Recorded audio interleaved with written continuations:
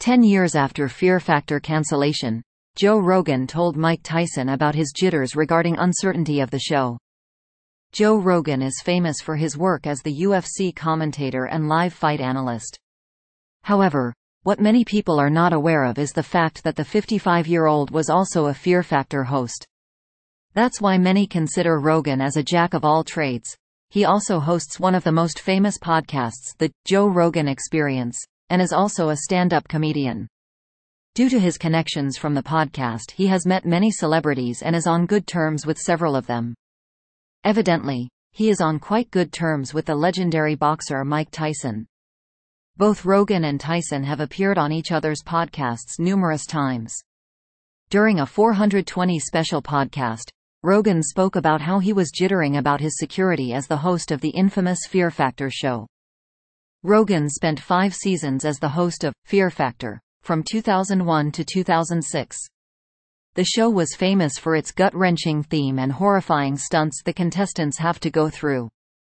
Rogan was a part of many memorable moments on the show. During one, he even got involved in a scuffle with one of the contestants. What's more, Many celebrities over the years have been a part of the Gore show. One of them was the WWE superstar Miz, who was present when Rogan was involved in the scuffle with a contestant. Despite the popularity, Rogan revealed how he feared that he might lose the job one day or another.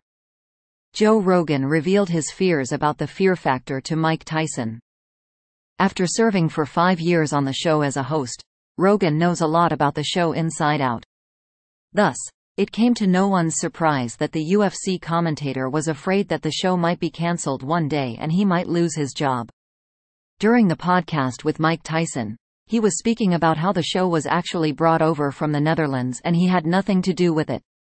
Later he started speaking about the state of mind he had on the show.